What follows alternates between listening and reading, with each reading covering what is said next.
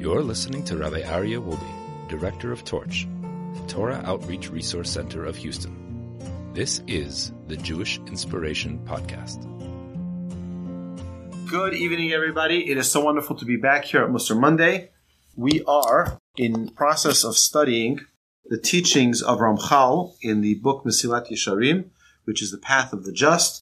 And we are in the middle of the conversation about pleasure and about the purpose of life. The purpose, and we mentioned this many times before, the purpose of our life is for is pleasure. It's the one thing that every single human being on planet Earth desires. We all desire the same thing. Pleasure. Those who are sadists, you know why they want to hurt themselves? Because that's their interpretation of. They both consider that pleasure, and that's that's obviously something wrong with them. But either way, their whole desire is, is for pleasure. Um, there are people who uh, who uh, cheat in business because that's what gives them pleasure. It's the thrill, it's the excitement. That's what gives them pleasure. You have the same thing with uh, people in, uh, in in in in sports. They're willing to work hard and and uh, sweat and cry and break bones for the pleasure of that competition. So anybody who tells you, "Well, why should I do that? It's not pleasurable," obviously never worked hard for any type of accomplishment because anyone who's succeeded in any major uh, accomplishment in life knows that you need to work really, really hard to get there. We need to work really, really hard to get there. And the harder we work, the more we'll enjoy it when we actually succeed. Nothing worthwhile comes easy. Right? We all agree? Nothing worthwhile comes easy. If it comes easy, perhaps it might not be worthwhile. Anybody here uh, blessed with a beautiful relationship or a great marriage? Is there anybody here who will say that it was easy to get there? No. It was very difficult. A lot of hard work. So this is the basic explanation of man's purpose in this world. There is, however, a deeper understanding of the matter. Like we mentioned previously, the reason we came to this world is for pleasure. What is the ultimate pleasure? And by the way, I will just, uh, I'll give a plug here for Rabbi Milstein's class that he gave on December 25th on Xmas Day. We had a marvelous program here. And uh, his second class, his second lecture was about the five levels of pleasure. And as he mentioned so beautifully, and I, I, I, recommend all of our friends out there to watch it online, uh, either on Facebook or on YouTube. You can look at it. It's called the five levels of pleasure. Any pleasure that's not an authentic fifth star, five star pleasure, too much of that pleasure will cause you pain. To give you my example, a simple example. Everybody here knows I love barbecue potato chips. Uh, I almost have never found a barbecue potato chips I didn't fall in love with, but try to eat a whole bag, a whole family size bag of barbecue potato chips, and you'll feel sick to your stomach. You'll start getting dizzy, and uh, the, the day is over. Okay, so even though it's a wonderful pleasure, but it's a pleasure that too much of that pleasure will cause you pain. Try any such type pleasure. It is, it is fleeting and it is not long term. Okay. And too much of it will only give you an ache. An authentic pleasure, the more the merrier. You see, for example, we have, uh, it's funny, someone, who was this who was telling me? This is not someone who's Shomer Shabbos. And he told me, he says, Rabbi, I just discovered the importance of stopping with technology, stopping with all of my business, stopping, he says, because I was just overloading myself with so much work. I didn't have a chance to just live. And he decided that he's going to observe a Shabbos without his phone, without his computer, without his, you know, his work, without the, without going to the bank, without going shopping, without doing anything, without worrying about his car, not even car washing it, nothing. Just taking some time out. And the transformation that one feels 25 hours of being completely disconnected, it does miraculous things for a person. Aside for the fact that if you're at my house and you're all welcome, you'll have the most amazing food also. So along with all that break, to also have really good food. And you know what? Comes the end of Shabbos, and people don't want it to end. They don't want it to, not because they don't want to get back into reality. It's just that awesome pleasure. You know who calls Shabbos pleasure? The Torah. Vikarasala Shabbos oneg, and you will call the Shabbos oneg a pleasure. A real pleasure, an authentic pleasure. A fifth level pleasure. You know what you do on Shabbos? Shabbos is a time of bonding. Bonding with your family, bonding with your spouse, bonding with your community, but most of all, and more important than everything, bonding with the Almighty. See, God understands this. By the way, it coincides with what was happening in Egypt. In these week's Torah portions that we're reading last week and this week and the week before last and next week, the Jewish people are enslaved in Egypt. What's the problem with slavery? The problem with slavery is that you don't have a mind of your own.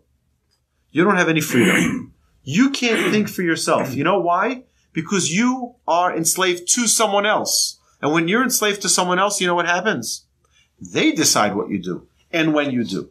They decide if you get a rest. They decide if you're going to eat, if you're going to drink, if you're going to sleep. And part of, by the way, part of the plagues, as we discussed Shabbos morning in our class uh, at Congregation Beth Rambam, our prayer experience, we spoke about some of the plagues, all of the plagues actually, were a direct midah k'neged midah, an eye for an eye, for the extra labor that the Egyptians inflicted on the Jewish people.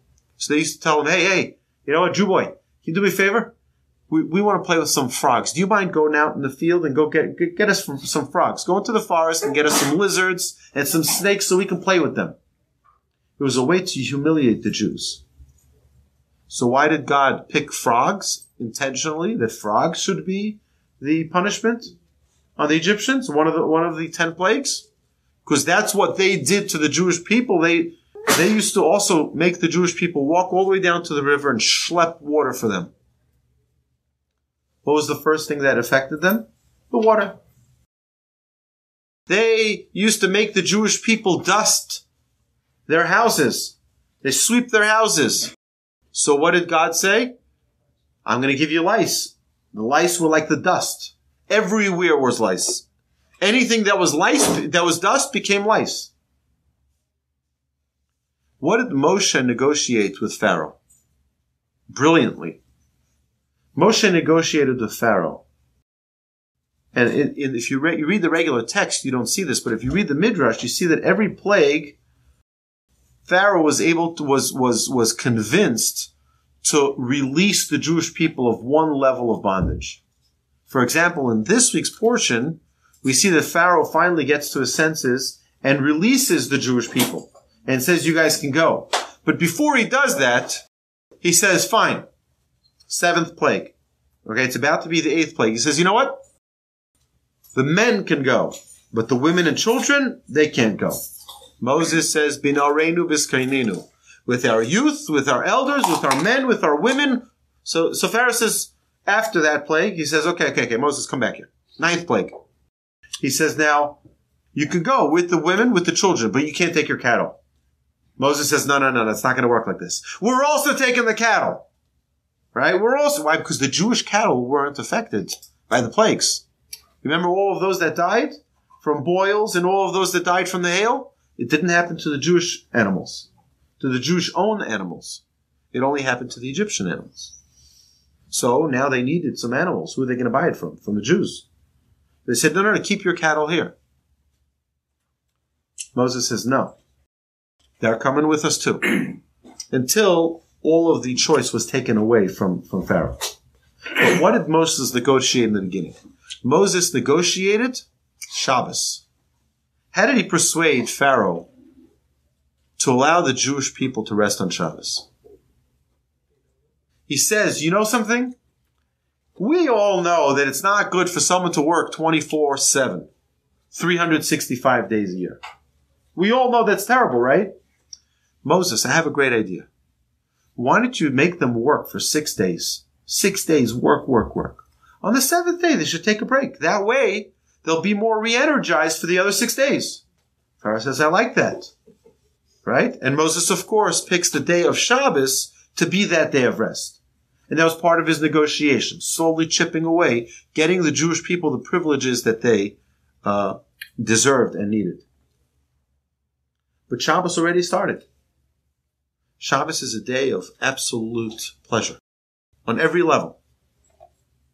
So let's see here what the Ramchal tells us on another another way of understanding uh, a, a deeper understanding of this matter.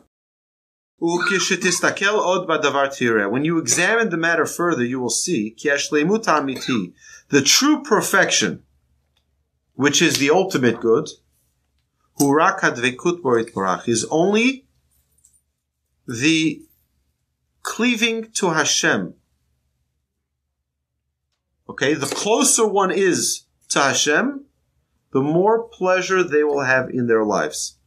This is what King David says in Psalm 73:28. But as for me, you want to know what's good for me? Closeness to Hashem is my good. Closeness to God. You don't want to know what's good for me? This is what King David defines as good. Closeness to Hashem. That's my perfection. The this is what, what King David and all of our uh, matriarchs and patriarchs, this is the way they define their closeness, their, their, their perfection in life. How close were they to the Almighty? The closer they were to the Almighty, the more they considered their life perfect. Okay? It's always a very good barometer. Don't measure your success in life. By the way, something that those of you who come to this class regularly know ticks me off is when people talk about other people and say, "Oh, you know that very successful, uh, very successful." They're usually referring to someone who has money. That's not success. I know way too many people who were successful financially, but were unsuccessful with raising a family, unsuccessful in marriage, unsuccessful in many other areas of life. Is that what we call success? We just, is it all money? Success is someone who's able to nurture beautiful relationships. Someone who's able to raise a family. Someone who's able to, to, to, to build love and harmony, peace and harmony in their home. Someone who has a beautiful, loving relationship with their children. Is someone successful because they have money, but they haven't spoken to their sister or brother for the past 10 years? Is that success? Why are we limiting ourselves to what we call success just for money? I think it's something which is important for us to redefine what it is to be successful. According to King David, do you know what success is? Someone who has closeness to Hashem. Do what's right, even if it's unpopular. And there are many times, there are many, many times that we collectively may be in situations where we're saying, you know something? I just want to do something maybe to be a little bit more liked by other people. And that might cause me to maybe not be as religious as I think I maybe should. You know, what are my neighbors going to say? What are my friends going to say? What is my synagogue going to say? You know, all my society people, what are they going to say? They going to say, "Oh, he he he he went off the deep end," huh? right? That guy went off the deep end because, you know, he's no, he's no longer driving on Shabbos. He's not one of us cultured people. That, is that what we're considering success? Or is it, or are we considering success our relationship with Hashem? I, I must, I, I'm going to talk here for a second about someone who's sitting in our presence, who, who after a terrible car accident, after, after a terrible car accident, his wife. I'm not going to say the name because uh, we're on online. It's people in the class. It's a more intimate setting. Sorry, friends, come to class and you'll see. Uh, so, so people could start coming in now. But after after a terrible accident, and your wife passed away, so the, one of the rabbis in our community came to visit our fellow classmate many times at the hospital, every day at the hospital. And when when our fellow classmate was leaving the hospital, he asked the rabbi, he says, What can I do to memorialize my wife and her neshama? The rabbi said, There's nothing you can do more than keep Shabbos. And that was the last time, the last time that our fellow classmate experienced, uh, the first, sorry, it was the first time and has never changed since the observance of Shabbos. There's nothing that is a greater pleasantness for God than the observance of Shabbos. You know, there's a song I was I, I don't know why, but I've been singing this song the whole day today and yesterday. But it's it's it's a it's words that we that we may know from perhaps prayers or from you know liturgy. It says Matana Tova Gnuza. God says to Moses, I have a great gift in my treasure house. And I desire to give it to the Jewish people. Shabbos Shema, and its name is Shabbos. And God instructs Moses to tell them the greatest gift, the most beautiful gift, the most pleasurable gift you can possibly imagine, God is willing to give it to us. But it's a treasure. We got to be careful. We have to treat it right. We have to take care of it. Like I've said numerous times at my Shabbos table, my wife tells me, please, please, you got to stop saying that. But the Midrash says a very interesting thing. Midrash says that Sunday was married to Monday, and Tuesday was married to Wednesday, and Thursday was married to Friday. And Shabbos came and complained to Hashem and said, it's not fair. Everybody has a mate. I don't have a mate. It's not fair. So God says, don't, don't worry. Your mate is going to be the Jewish people. The Jewish people are going to dress up for you. The Jewish people are going to buy flowers for you. The Jewish people are going to cook the finest delicacies for you. The Jewish people are going to sing for you.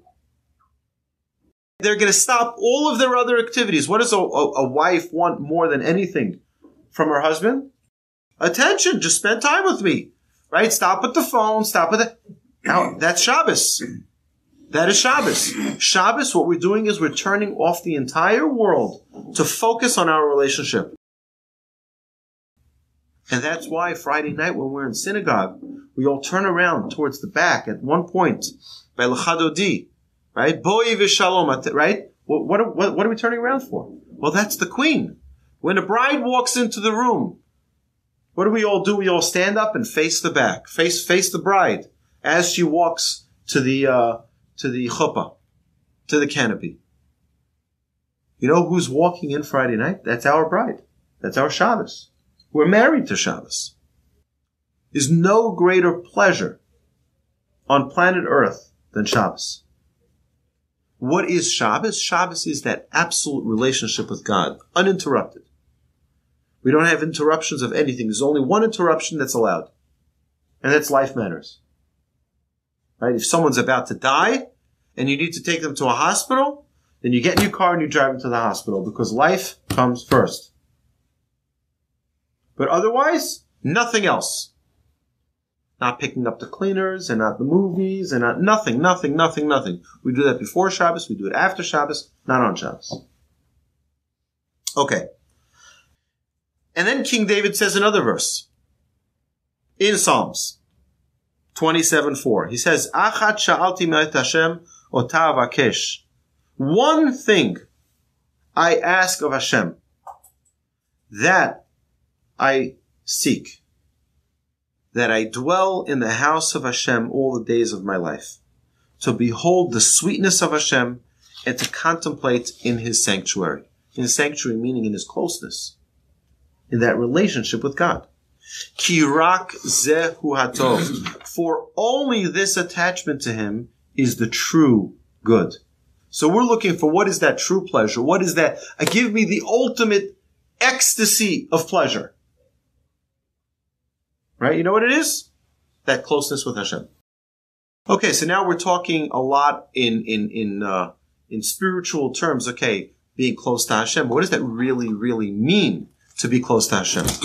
what does it mean to be in a relationship with God that's not compromised by anything, and that it's a fifth level pleasure?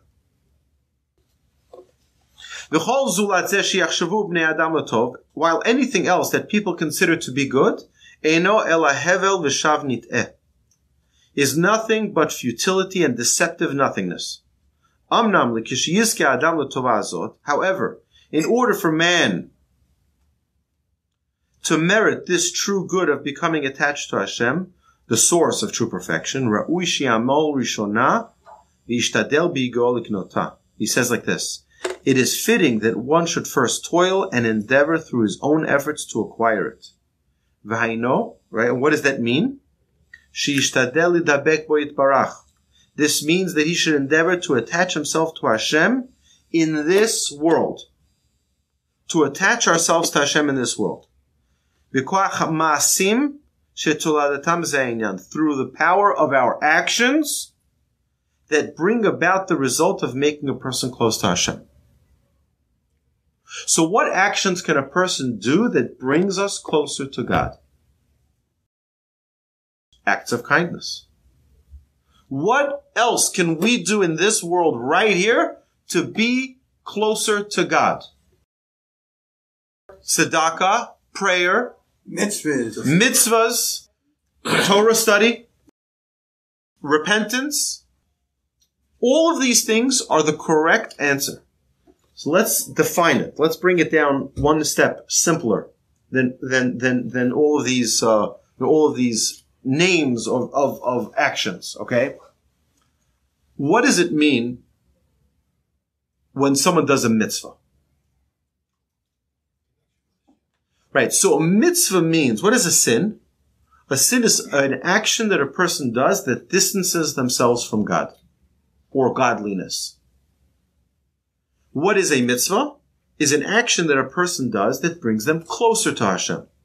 Every mitzvah that a person does brings them closer to Hashem. Every sin that a person does takes them further away.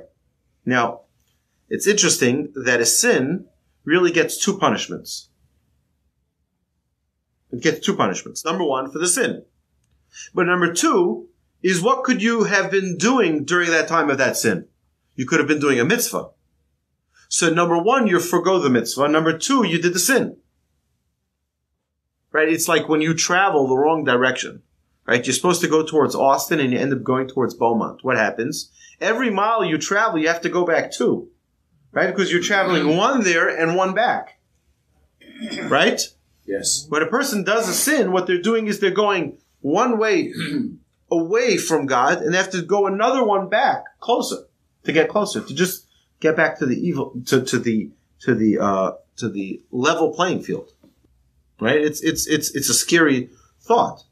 Now, let's just talk for a second about the following statement. I've heard this. I remember when I was going when I was in Israel living in Israel. So I'd always like to schmooze with my cab drivers, many of whom were not uh, not religious Jews, and I'd like to you know schmooze with them. It happens to be that some of them became my really good friends, and over the years I would I would call them and they would uh, you know they would be my like my private uh, private uh, yeah my private taxi right.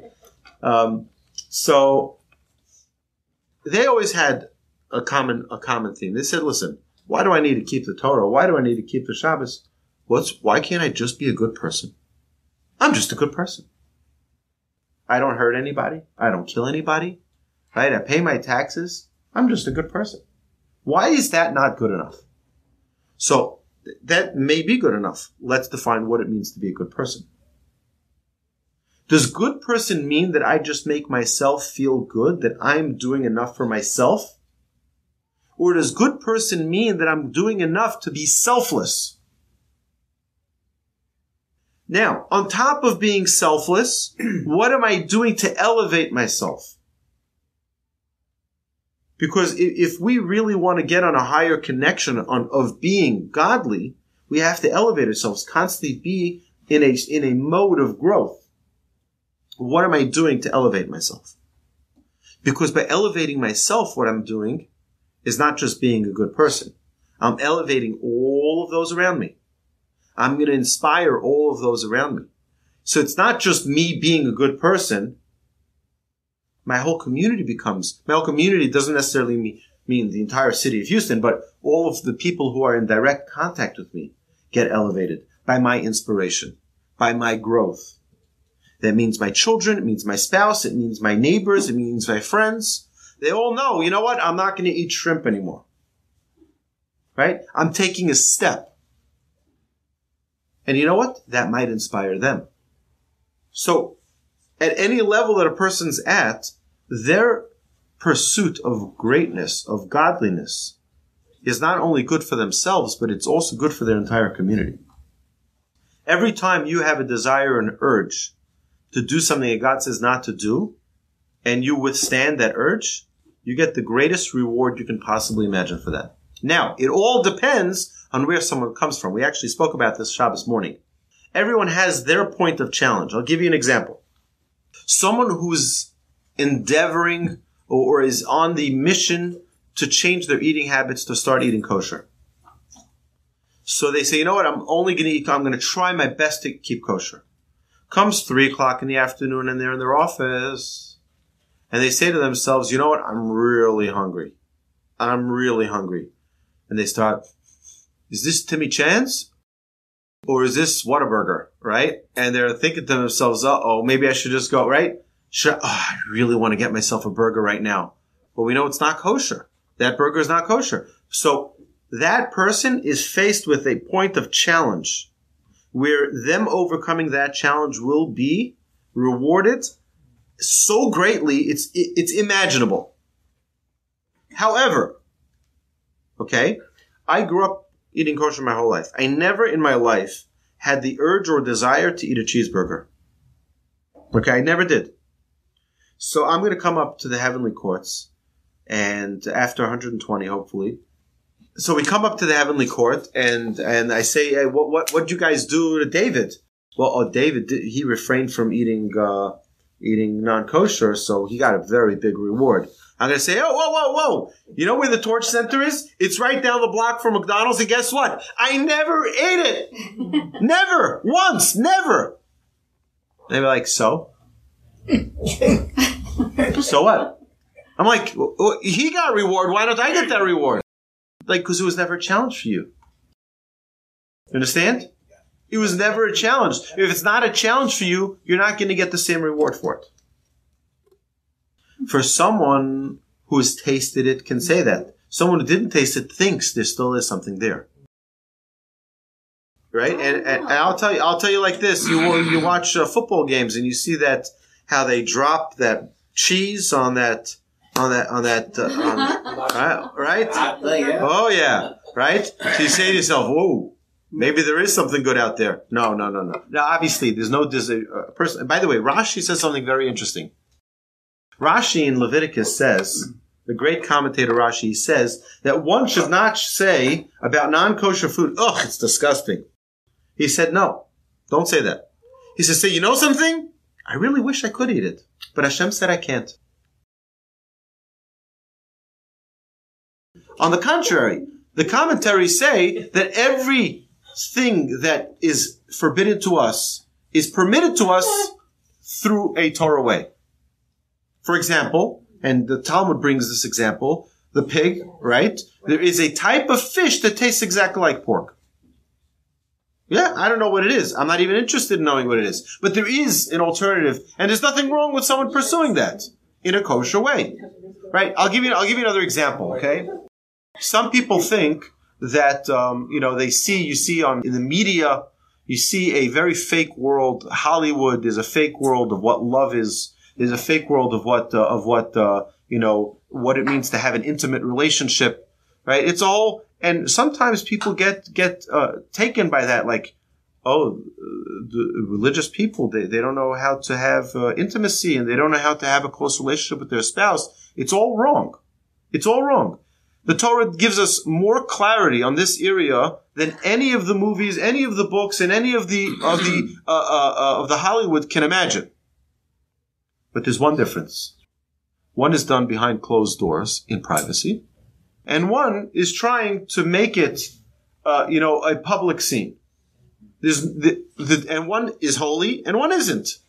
It's that we need to to uh, understand that God doesn't want us to suffer. And by observing the Torah properly, we will never, ever, ever miss out. And there's a verse that I have to prove it from King David, where he says, Vidorshe Hashem lo yachsuru kol tov. And those who seek Hashem will not lack anything. Nothing. You will not lack anything. Lo yachsuru kol tov. Any goodness in the world, you will not lack because of your desire to connect to Hashem on a higher level. Uh, on a higher level. All right. So he says like this: While anything else that people consider to be good is nothing but futility and deceptive nothingness. However, in order for man to merit this true good of becoming attached to Hashem, the source of all true perfection, it is fitting that he should first toil and endeavor through his own effort to acquire it. We have to work on acquiring it. It's not going to come easy. We said before, it's going to come with just an interesting observation. Uh, King Solomon tells us, Sheva yipol tzadik vikam. Seven times eh, the righteous will fall and stand up again. Seven times. You fall, you know, think of a little, a little baby. My little daughter just started walking a few months ago. And when she started walking, she'd try to stand up and get her balance and she'd fall. So if we would just give up after one time, we would never learn to walk. But children are resilient. They want to learn how to walk. So they fall and they get up again, and they fall and they get up again, and they fall and they get up again. Anything worthwhile, we stand up and try it again. If our desire is to have a true perfection in life, a true pleasure in life, and a true relationship with Hashem, it's worth all of the toil in the world and all of the failures that lead to the ultimate true success. Through the power of action that bring about the, this result of making a person close to him, Haim, Haim, Hamitzvot. And these are these actions are specifically the mitzvot, the commandments. Thus, the mitzvot are not merely methods for acquiring one's place in the world to come.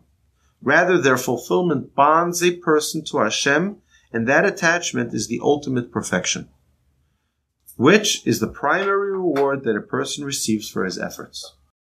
So, there are a couple of points here. The first point is as follows.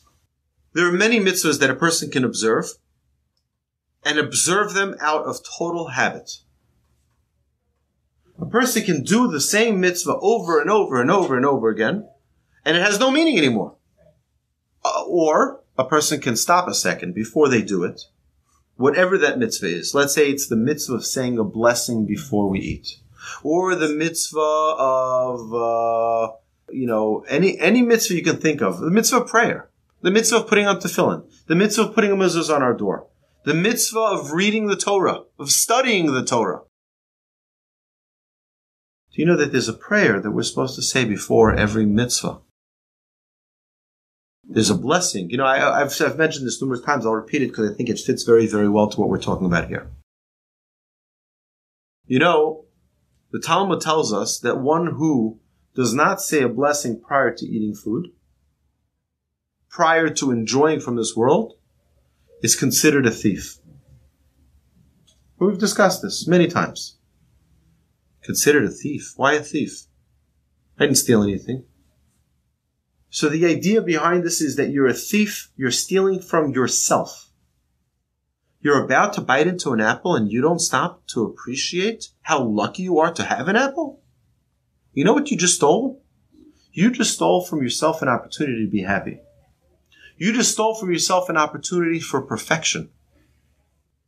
You just stole from yourself the ability to be happy and to be fulfilled and satisfied. Instead, you just gobbled it up and goodbye. A person who does any mitzvah has the opportunity to do that mitzvah, the mitzvah of putting on a talit. It's a mitzvah. You're surrounding yourselves with yourself with, with godliness. You know, just interesting. You know, we have the word tzitzit. Anybody know what the numerical value of the word tzitzit? Tzaddik Yud, Tzaddik Yud Taf. Tzaddik is 90, Yud is 10. That's 100. So you do that twice, Tzaddik Yud and Tzaddik Yud, it's 200. And Taf is 400. So it's a numerical value of 600. Now if you take tzitzit, you have how many strings do you have? Eight strings. How many knots do you have? One, two, three, four, five. Five knots. Eight strings. That's how much? Thirteen. The name tzitzit with the five knots and the eight strings, 613 mitzvah. By fulfilling the mitzvah of wearing tzitzit, we have the entire Torah wrapped on ourselves, on our body. So we can put on tzitzit every day and just put them on. We're doing a mitzvah. Or we can have in mind, you know something? I'm not just putting on tzitzit. I'm incorporating the entire Torah on me. Now tell me who's going to have a different day? Someone who thinks about that and gets into the presence of mind. That now they have the entire 613 commandments along with them as their shield throughout the day. Versus what? Oh, it's just another garment I was trained to put on when I was three years old. So, every mitzvah, it's not only the performance of the mitzvah, the, it's not the quantity of how many mitzvahs we observe, but it's the quality of how we observe those mitzvahs. And all of the beauty of our, of our relationship with God depends not on the, on the uh, quantity, but on the quality. How much are we going to be able to bring our relationship to the next level? Through quality service of Hashem. And the more we have intention, the more we have thought, the more we have preparation for the mitzvah that we're about to observe, the greater their relationship is going to be is strengthened through the observance. Are there any questions about this? We're good. It's clear. It's amazing, no? I think it's amazing. If a person stopped, you know what, we light shop, think of any mitzvah that you do on a regular basis. Any mitzvah. Did you ever have? Did anybody ever wear a very something that a, a, garment that they have always wanted to wear? They always wanted to. You wanted those pairs of pair of shoes, and you're like, oh, I can't wait to get that shoes. I finally have enough money to buy that purse, right? Anybody or or a car? Anybody here, right? You buy that new car, and you're like, oh, right? I'm so excited about this, right? Right? Anybody have that? Anybody have a show me show of hands? You've had that experience of something new, something unique, something special. It's a watch, it's a piece of jewelry, it's something. And we all felt probably the same feeling. Ah, I'm never going to get sick of this, right? I'm never, ever going to, this feeling of like, it's just so incredible. It's so amazing. It can never wear off on me. Transitory. and it lasts a day, two days, a week, a month, and done. On with the next thing. There's one way to stop that. Focus. Focus every day. You're about to get into that new car. You're about to wear those new shoes. Ah, thank you, Hashem, for giving me this special gift. Don't just say it as a habit. That can also become a habit. But to, to appreciate, we can live in a world of total pleasure if we just stopped living and started experiencing and started feeling and connecting to what it is we're living. Two different worlds. Let's uh, let's review here, and maybe we'll have some time to go uh, further. All right. So every mitzvah has the potential of elevating. By the way, it can even be one mitzvah. It can even be one mitzvah that transforms a person's life. We see this in the Talmud. The Talmud relates that someone who experienced one experience of teshuvah, of repentance, one. A heavenly voice came out and said, You're welcome to the world to come. The sages were crying. They're like, What? We're trying our whole lives to get to this point of perfection so we can receive our place in the world to come. This guy slips in with one mitzvah. Boom, he's gone. He's got it. Right? It's like people who are playing golf their whole lives, right? Trying to get that hole in one. And this whippersnapper comes out of eighth grade and goes, boom, Gets his hole in one. He's like, guys, so long, I'm out, right? the Midrash says something very, very interesting. It says that when Moses ascended up to the seven, seventh uh, firmament, uh, what happened was is that each firmament that he ascended, he was met by a group of angels. and the lowest uh, firmament, the first firmament, was lowest ranking angels. Again, these are heavenly angels already as is, but of the of the heavenly angels, this was the lowest ranking ones. And he hears them reciting the first day of creation, and then they start praising the Jewish people. Then the next firmament's higher ranking angels, and they say the second day of creation, and then they start praising uh, the Jewish people in the land of Israel. And each firmament successively is higher ranking angels, and they read the next day of creation, and they praise another one of the qualities. On the seventh firmament, the highest level, there's reading about the Shabbos, which is the seventh day of creation, and the highest ranking angels, and then they stop and they praise the greatest gift ever given to mankind. Teshuvah repentance. So you can ask this question. I don't understand. More than Shabbos, more than the land of Israel, more than the Jewish people, more than uh, more than Gan Eden, the Garden of Eden, more than Gehinnom, right, which is all one of those seven. The highest of all levels is Teshuvah repentance. You know why? It's very simple. Because all of those other things, whether it's the Torah, whether it's the land of Israel, whether each one of those things, what is their goal? To bring a person to a clarity, to bring a person to a place of a strong relationship with God. What is teshuvah? Teshuvah is that relationship. Teshuvah is that clarity. Teshuvah means I rec- oh my goodness, I cannot believe it. You mean? It's like imagine, right, uh, students uh, in this class are, are, are, playing a prank on their teacher, not realizing that the principal is standing in the back of the classroom. I had that once in ninth grade. Right, the principal slipped into the back of the room, and the kids pulled a prank on the teacher, and the principal was standing right there. What happens? A little shameful moment there, right? I wasn't the troublemaker, so it wasn't me right? But but um, it's a little bit of a shameful moment, right? You know why? Because he saw everything that went on, everything that went on. That's a little embarrassing.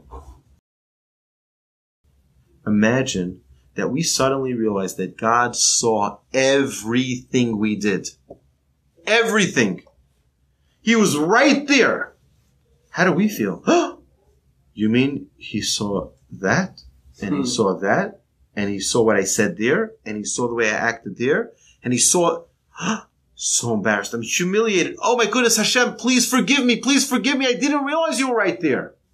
That's true teshuvah.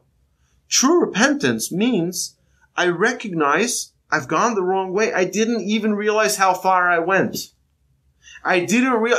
I now have that clarity of your presence right there. You're right in the room. If I would have known, I would never have done it. Hashem is always there. You know, people, you know, right up there, there's a camera. See the camera right up there? Mm-hmm. Right? So wave, say hi, because you're all on camera, right? So, so, but, but, but, you know what? We're all on camera 24 7. You know, I was by Walmart over here, uh, at the grocery, at the neighborhood Walmart, and, uh, I scanned an item. I guess I scanned it a little bit too fast and it replayed for me on the screen a shot from a camera right on top of me. You see me from right on top scanning the item. You see it. And I actually did a video about that of how God records everything. God doesn't need hard drives. He doesn't need a cloud. He doesn't need any of the, right? It, God has been recording it since day one. Imagine, you know, uh, the president announced that he's going to be doing an Oval Office address tomorrow.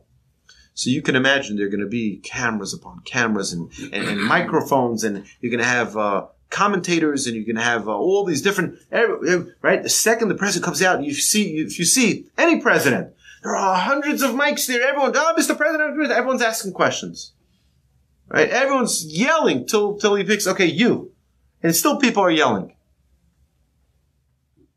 Do you know that when we do something, like the thousands of mics the cameras, they're all on us.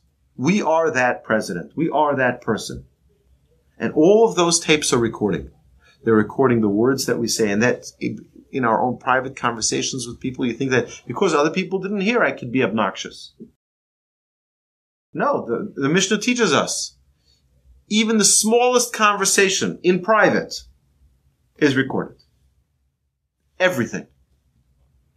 And you know who's the ultimate judge at the end of the day? Of course, Hashem, but you yourself. You are your judge. God's going to show us, when we pass away, He's going to show us a footage of a, a movie. Everyone's going to sit back, get their popcorn, and God's going to say, Oh, you came? Guess what? Right? David, you're going to be the judge. You're going to be the judge. Right? You're going to tell us how to, uh, how to judge this person. And the person's not going to know that it's actually themselves that they're judging because the face is going to be blurred out. But you're going to be able to see what they were thinking, what they actually did, what they said. You'll be able to see all of the actual intentions and the focus, right? So the better we teach ourselves to become positive thinkers, to become positive judges of other people, uh, to do positive actions, the more we will train ourselves to judge ourselves favorably. The power of a mitzvah, the power of a mitzvah is so great that, you know what? It's worth being there for the mitzvah the reward that one gets for doing a true mitzvah is greater than any imaginable reward. It says that one millisecond, one millisecond of the world to come. No, okay, think one second of your world to come.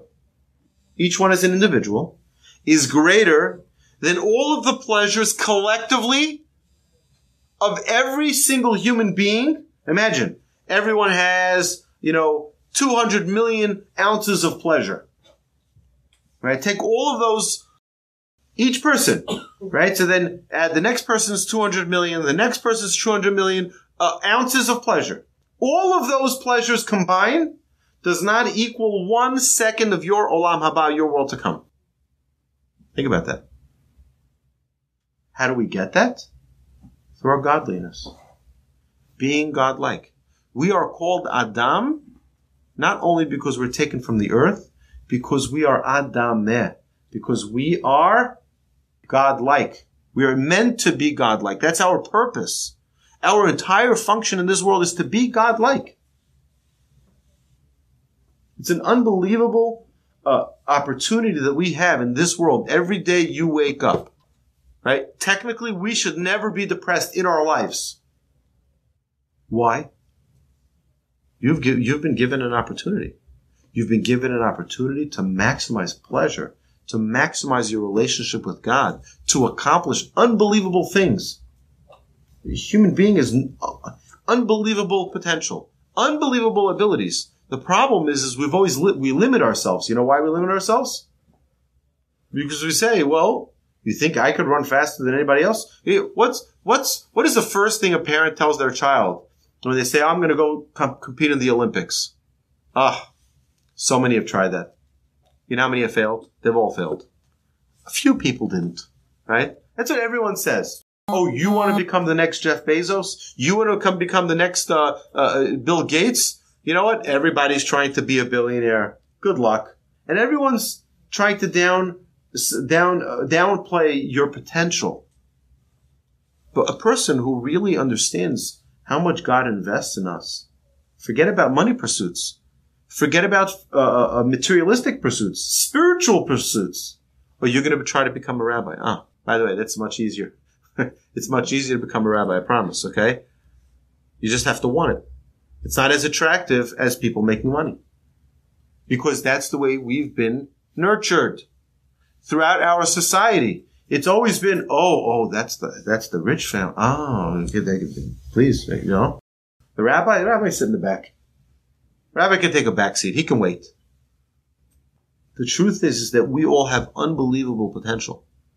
If we only believed in ourselves as much as God believes in us, we'd be the most successful people on earth. True success. But that's what we're missing.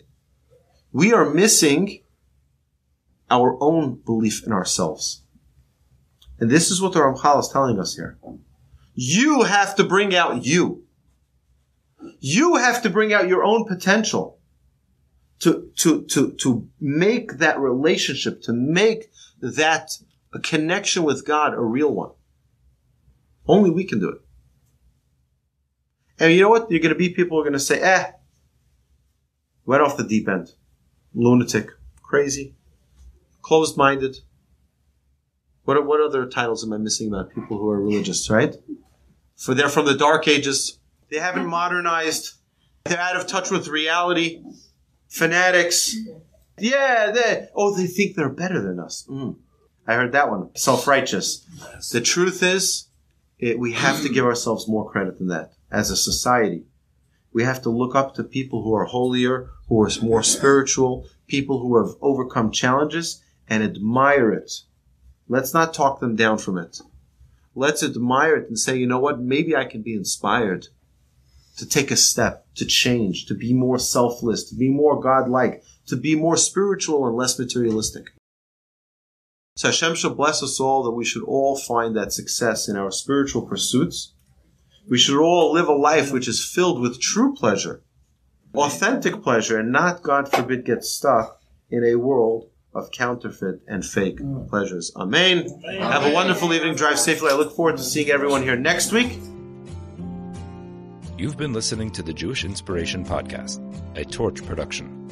Become a supporter at torchweb.org because your assistance enables more Torah learning around the globe. To find more lessons offered by Torch, please visit torchpodcasts.com.